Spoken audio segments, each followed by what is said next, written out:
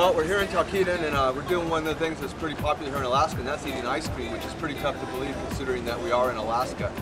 This is a beautiful little town, and this is pretty much Alaska at its finest, I would say.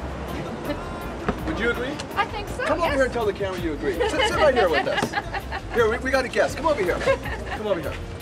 So, are you enjoying your time in Alaska? Very much.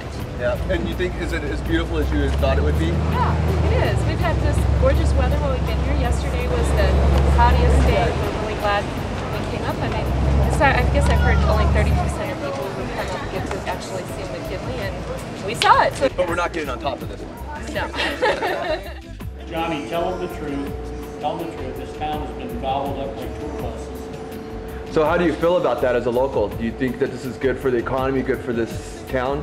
Probably good for uh, the economy. It's probably, yeah, it is, and it's, you know, you can't, you can't fight expansion, and the reason we came up here was because it was so beautiful many years ago. Well, you can't just shut the door and stop everybody else from coming in. We got the Mount McKinley in the background, and God, it's breathtaking. Just the view of the road up here was just, it was scenic. It was more scenic than I was led to believe, so um, I'm very happy at the moment. Alaska's awesome.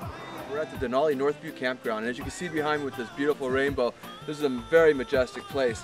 We wound up getting here out of the Lonely Planet once again, and there, there's no one else at this campsite. It's just absolutely beautiful. The panoramic view that's out in front of me is second to none. You can hear the thunder going off in the background, and uh, it's just been magical right now. You can just feel the energy pulsating through the, the air. We got a great spot and it's absolutely breathtaking here in Alaska. It's like every day just keeps getting better and every time you turn a corner, it keeps getting better.